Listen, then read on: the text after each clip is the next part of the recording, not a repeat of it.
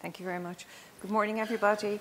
I'm going to, in 15 minutes, I hope, gallop through um, a few slides and introduce you to and highlight some aspects of the non-traditional aspects of the library with which you may not be familiar and which um, are in the complementing the theme of today's symposium.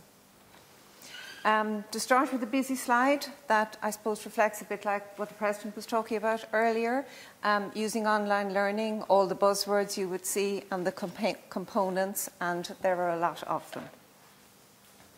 Um, I'm going to give you an overview um, uh, on the first half there on online support that we provide in the library, um, the module better referred to, talk about our institution or the university's institutional repository and some digital projects we have ongoing, uh, the electronic research library, um, and then in, uh, in the afternoon, my colleague Anita Wilcox is going, go, going to go through with you the lower part.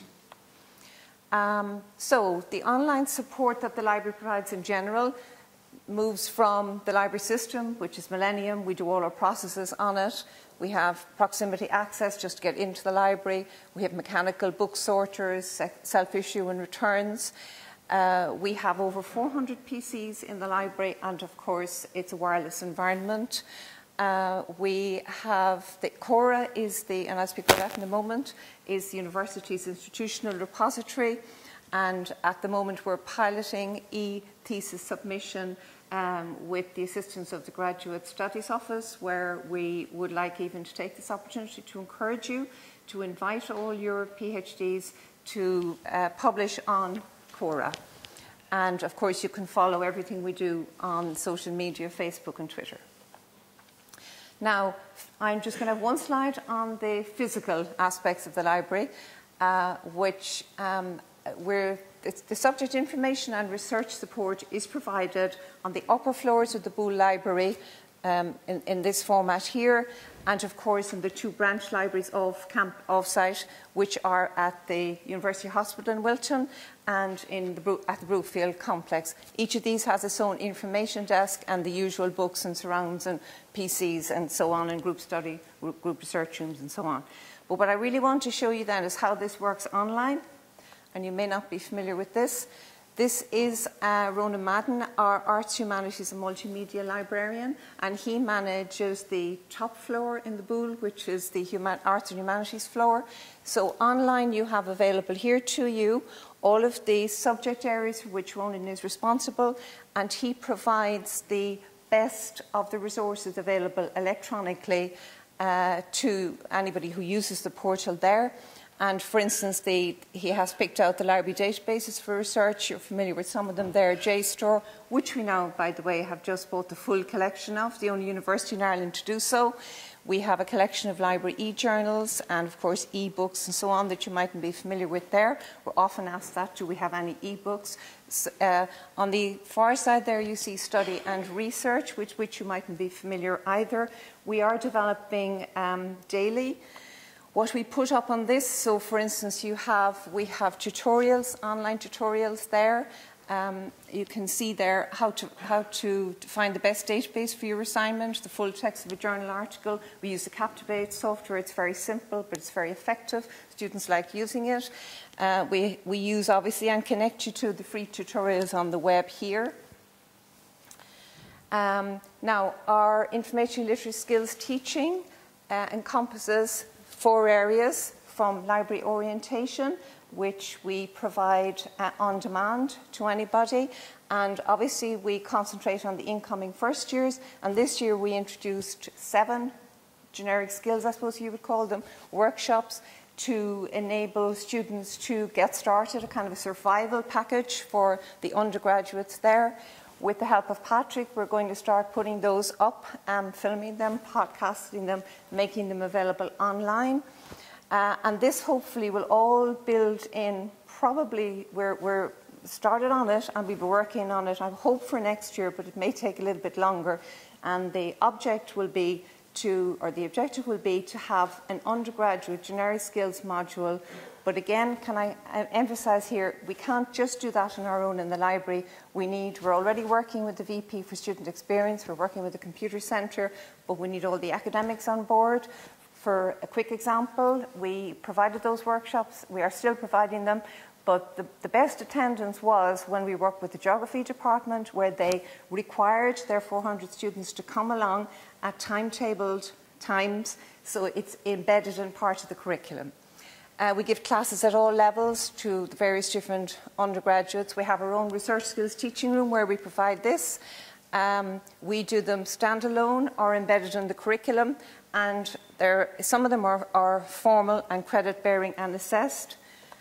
And just to show you, um, again, the emphasis here is to say that the library, um, we would say, but it is true, you need the library. It is really central to all of the online education that all of you are providing.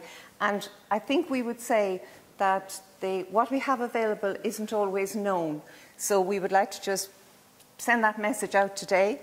And to just a little interpretation of that, the knowledge content and interface there would be something like Blackboard in our case. Then you have the library, so you have the teacher, you have the student, there's interaction both ways. You have the search and retrieval tutorials and so on down there. So, I mean, I don't have to go through it with you, but you can see you need, of all, you need all of those components and we need to be much more connected than we are now. And I find in the work I do that I discover every day there are great things going on in different areas, but there's no joining of the dots. So we need to work more closely. Again, success will be dependent on, we have face-to-face -face learning, all of you have face-to-face -face learning, we have online collaborative learning, self-paced learning, and so on. But you need the intersection of the sets there for success. Now, this is our Graduate Information Literacy Skills module which was developed courtesy of funding from the government, the CIF funding. It is a Credit 5 ECTS module. We have, we piloted in 2008, we delivered it in real time in the next two academic years to targeting PhDs in the science, technology and medicine area initially. This year we adapted it for the College of Arts, Celtic Studies and Social Sciences. We're delivering now on the 21st to the 24th of November there. Uh, can I just say again here that the success and the attendance rates are really based on working with the graduate schools concerned and in particular with Alan Kelly in the, the Director of Graduate Studies and we worked very closely with supervisors. We, the students will come the, the module is obviously optional, and they, there are a lot of other options there for the PhDs to take. But when they're advised by their lecturers or their supervisors, obviously they will come along more readily. We just have, I suppose, two sessions full. We have that one full uh, for CACs in November, and we have a waiting list, so we would probably have to deliver several times there. Now, we've broken them up then. The block delivery suits some people. We did evaluation and feedback and the students like to get a block delivery, but then of course when you start you find that they have something going on one of the mornings, one of the afternoons, so they can't attend them all. Attend, the credits are awarded on the basis of attendance plus an assessment. So what we then did is break up the units into research skills workshops, which the students can take at their own pace, and you can take those for interest, or you can accumulate credit over the time. Again, we'll be advertising those on our website shortly, the dates of those. The assessment that we have built-in learning outcomes for, each, for the overall module and for each of the units, and our assessment is based on interrogating those learning outcomes which we provide in advance to the students, according to Declan Kennedy's very wonderful book on learn, preparing learning outcomes.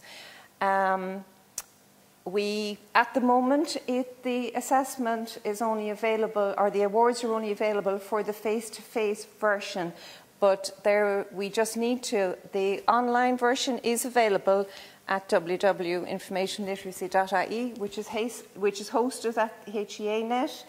Um, you can't get credit by doing the online only, and of course, I shouldn't be saying that today because this is probably what we're here today to do, but we have started developing that where we, I, Patrick is thankfully working with us to take this. You had, we had three universities developing it.